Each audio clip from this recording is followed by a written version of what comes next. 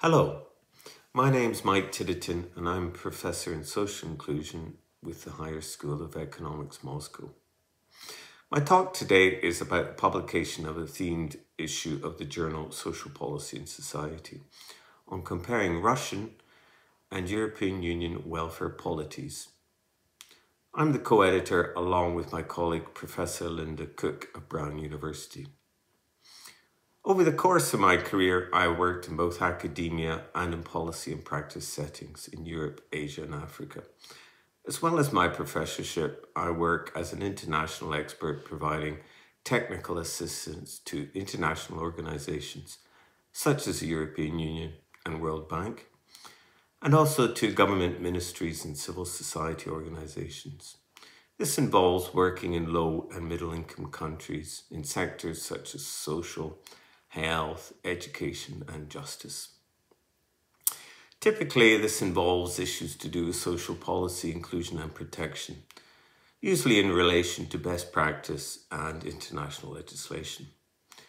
My special focus is on the most at risk, the highly marginalized and excluded communities and groups that exist in our societies. This includes people with mental health problems and disabilities, vulnerable migrants, people living with HIV, prisoners and drug users. I'm interested in enhancing their well-being and improving their access to resources such as social services, healthcare, education, and employment opportunities. This often involves various forms of comparative research globally, regionally, and between and within countries and sectors. We undertake such comparative analyses because they can throw light on questions to do with variations in the formulation and implementation of welfare policies and their results. Comparisons can tell us why some approaches to tackling social problems work well in some countries and contexts, but not others. They can answer those queries posed by policymakers, donors, service providers, and service users, as well as promoting the sharing of vital know-how across regions and across countries.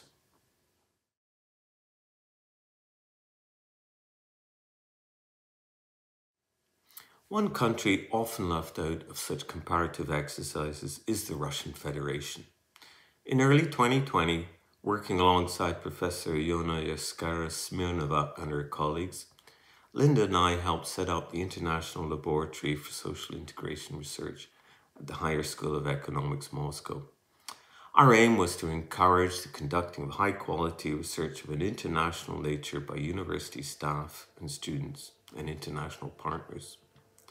This has included studying the experiences of excluded groups like migrant children and children with disabilities. As for so many other people, there have been difficulties caused by the coronavirus pandemic and by the conflict in Ukraine. Our themed issue for social policy and society represents one of the outcomes of this work in close collaboration with scholars from other countries. Under the title Mapping the Shifts in Russian and European Welfare Polities, we focus on contemporary Russian, Central East European states that joined the EU from 2004 onwards and the older EU 15 states. Our goal here was to integrate study of these welfare states within the common framework of what is sometimes called new social risks. These risks include aging populations, destabilized labour markets and family structures, large-scale immigration, and accumulated welfare commitments. We argue that Russian and European welfare states have been confronting a set of these new social risks. These risks have produced broadly convergent social policy challenges and agendas in labour market policies, pension and demographic reforms, and since 2020, a new social crisis, COVID-19. Despite broadly parallel paths of post-war expansion and contraction, and the shared challenge of these new social risks, these welfare states have rarely been studied within a single comparative framework.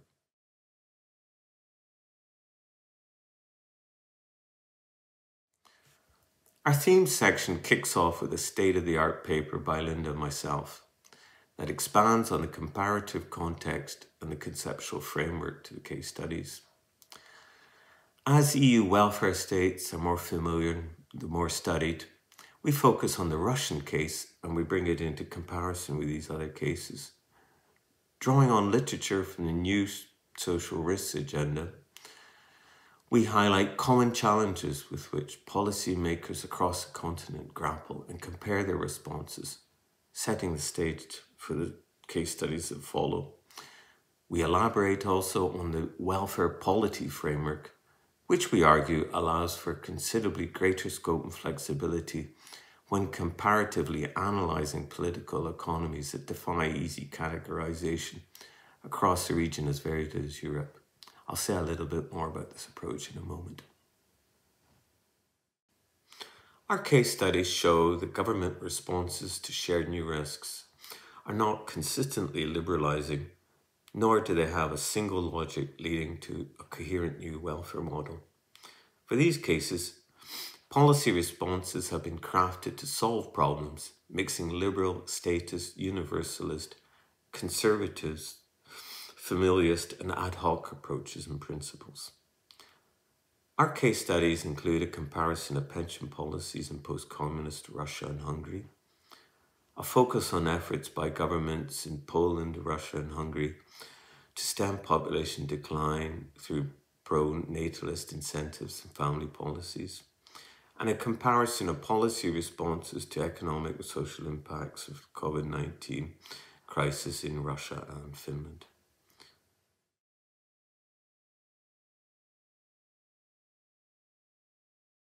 One key finding is that European Union 15 welfare states are no longer characterized by the stable institutions and political processes and welfare regime typologies. Instead, we have developed the concept welfare polities to structure comparisons. This is a much more fluid concept than welfare regime, designating as it does the normative framework, policy capability, the institutional capacity, and social and political movements that shape and constrain welfare state change.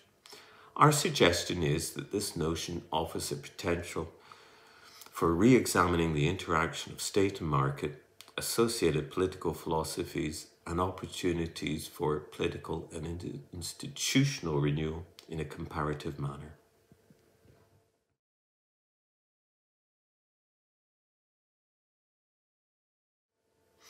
Our case studies confirm the convergence of new risks and challenges faced by Russian and new European welfare polities. Our evidence suggests, however, that the broadly shared new social risks are driving European and Russian welfare agendas in multiple directions. This is an intriguing development that makes for a very rich research and development agenda for scholars, policymakers, and for funders alike.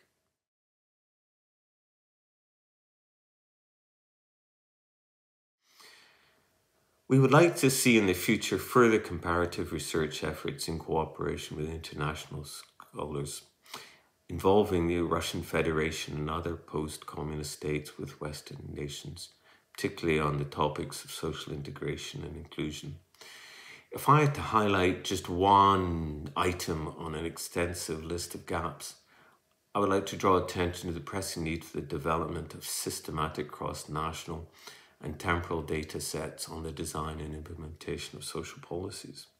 This is something called for by several researchers over the years with respect to other regions. And it would be something that would be especially valuable for scholars and policymakers in respect of the region that we're talking about today. Finally, I would like to draw this talk to a close with a word about the present conflict in Ukraine. I have worked in all three of the countries most deeply involved, namely Ukraine, Russia, and Belarus. And just last month, I saw some of the knock on effects of the turmoil when I was working in Latvia. It is all too evident that the Ukraine conflict has had devastating impacts on the civilian population and on the infrastructure of local welfare states. Millions of refugees have crossed borders into neighbouring countries, and many more have been displaced within the country. It is equally clear that at this time of intense difficulty, international cooperation and comparative research among Eastern and Western scholars is now more important than ever. Working together and sharing knowledge about the problems facing welfare states and how best to respond in volatile geopolitical contexts is critical.